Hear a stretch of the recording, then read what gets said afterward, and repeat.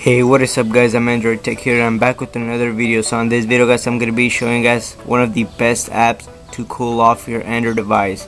Because I've been getting a lot of messages on that on Facebook because uh, people have been saying that their Android device are getting um, overheated and warm and all that.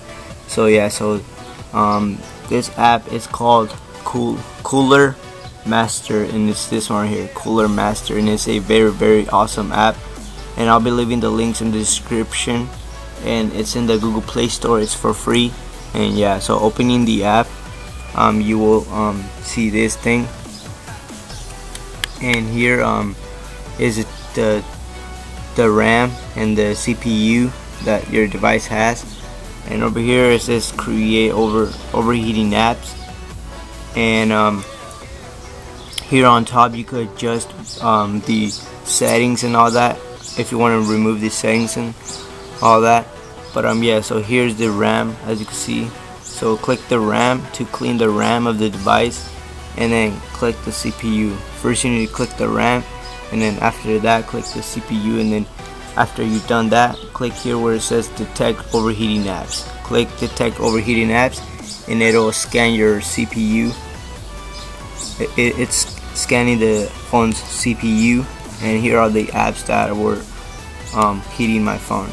As you can see it was um, WhatsApp text me Kik and all these etc etc so here down go to where it says cool down and it's gonna start cooling um, the Android device. As you can see um, it's already cooling off. It's I think it's done. As you can see right there it says six apps six background apps closed. So yeah. So um, the apps that were overheating your phone are gonna close and yeah so after that just click here in the bottom where it says OK and there. Uh, you could scan again but um but uh yeah.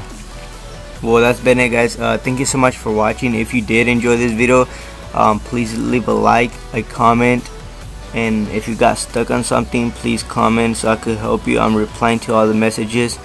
And yeah and follow me on Facebook. I'll be leaving the link in the description of the video. And yeah and also I'll be leaving the app of this um, website of this um app.